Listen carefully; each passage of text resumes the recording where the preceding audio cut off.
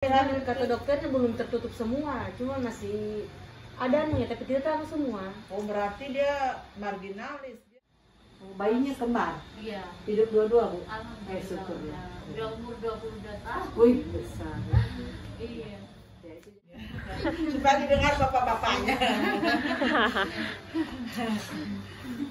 ada nasi, Nasi, ada apa lagi di situ? daging, tahu kayaknya, daging Ya, tahu, tempe. Ibu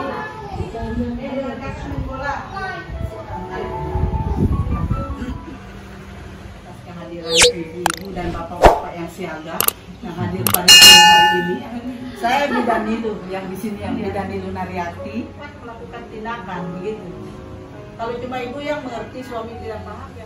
eh, praktek ini biasa saya bisa ketemu ibu biasa kadang-kadang tidak. Tawa ini. Oh di Tawairi ya. Ya, Terima kasih Bu. Bapaknya yang mana boleh perkenalkan ya. Perkenalkan nama saya Firdaus. Eh, alamat Tawai. Perkenalkan nama saya Oktavianti, alamat kayak Maluya Pajeko. Nama saya Zalvin, alamat kayak Malu Pajek. Mengandung anak keempat. Anak keempat.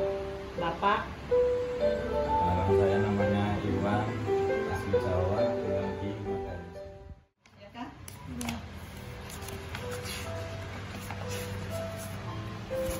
Ibu-ibu datang biasanya memeriksakan diri kemari ke bidan ada dilakukan pelayanan 10T di situ. Coba yang ibu boleh baca yang pertama apa?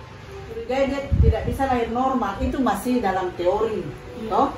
Tapi biasanya kita tetap lakukan pemantauan. Makanya setiap bulan itu kita selalu pantau.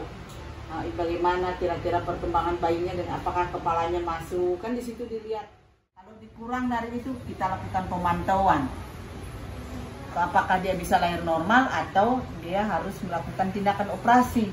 Tapi banyak juga sih yang kita curigai panggul sempit, pada akhirnya dia bisa lahir normal kan. Misalnya dia naik sampai 3 kilo, itu bisa saja bayinya kembar atau bayi besar. Dari situ kita melihat kenapa ibunya tiap bulan kita timbang berat badan. Itu, ya. Jelas ibu-ibu? Kita lanjut lagi. Ibunya mengalami kejang-kejang, uh, bengkak pada kaki, bahkan seluruh badan. Nah itu tanda-tanda orang keracunan kami. Itu makanya dipantau ketat di situ dia di tujuh tujuh bulan ke atas itu untuk mendeteksi oh kalau dia aman-aman tensinya berarti uh, mudah-mudahan ibunya aman-aman kan.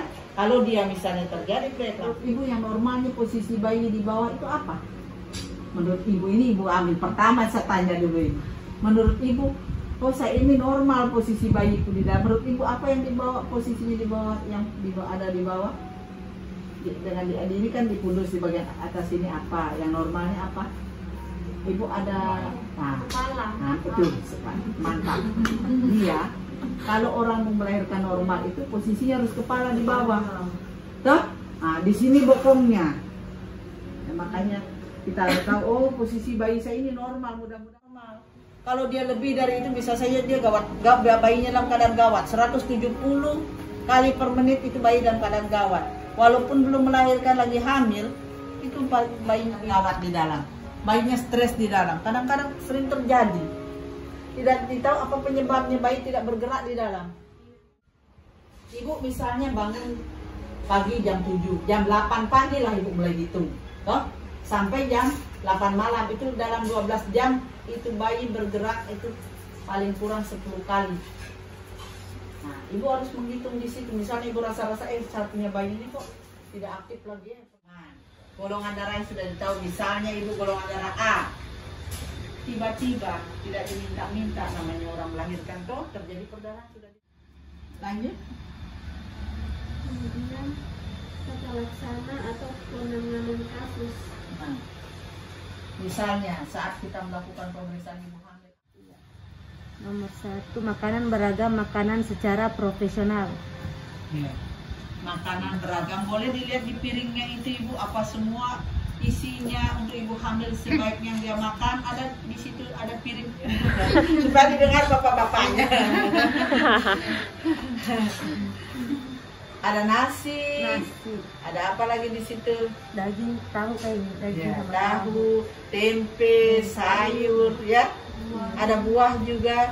Ya. Ya, ibu sudah lakukan itu? Iya. Ya, bisa tidur siang? kurang tidur siang sekarang nanti malam Kalau misalnya ibu tidak bisa tidur siang, biar cuma baring-baring satu jam. Biar baring-baring, tidak harus tidur kayak orang kan. Dan dokter tanggal perkiraan persalinan. Ya, Suami atau keluarga mendampingi ibu saat periksa kehamilan. ya. Sudah betul ini toh ada suami mendampingi, betul sekali. Iya. Persiapkan tabungan atau dana cadangan untuk biaya persalinan dan biaya lainnya. Ya, itu yang tidak di- diduga-duga kan dana tak terduga namanya itu. Oh, Bayinya kembar, Iya. hidup dua-dua bu. Eh, Alhamdulillah. syukur ya. udah- umur 22 tahun. Wih besar. Iya.